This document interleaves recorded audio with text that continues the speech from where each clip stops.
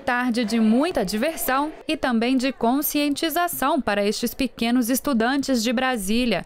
Na semana que celebra a luta da pessoa com deficiência em todo o país, eles aprenderam que, com força de vontade, qualquer um pode driblar suas limitações, como no esporte. Este atleta disputou a medalha pelo rugby nos Jogos Paralímpicos Rio 2016 e fala sobre a mensagem que levou para a criançada. A deficiência não, não é um problema, não é um, uma coisa grave que você precisa de, de tratar como coitado, com pena. A gente veio aqui mostrar que a deficiência é apenas mais uma característica humana.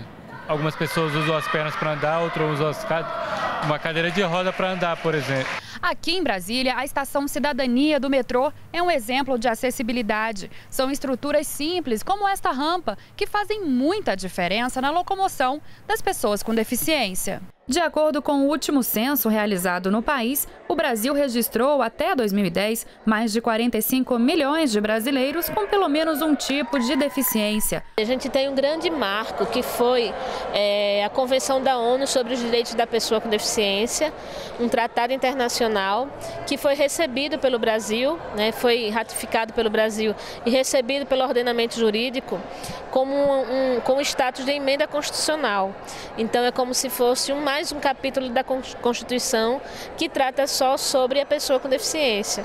Então isso é uma grande evolução porque é um texto bastante rico, bastante é, que traz conquistas, principalmente sobre os conceitos da, da deficiência, é, que faz com que a sociedade, a partir de então, é, a deficiência não só pelas limitações, mas pelas atitudes das pessoas e principalmente pelo contexto com que aquela pessoa vive. A convenção é o grande marco. A Lei Brasileira da Inclusão, o veículo que torna a convenção aplicável, uma forma é, de torná-la efetiva.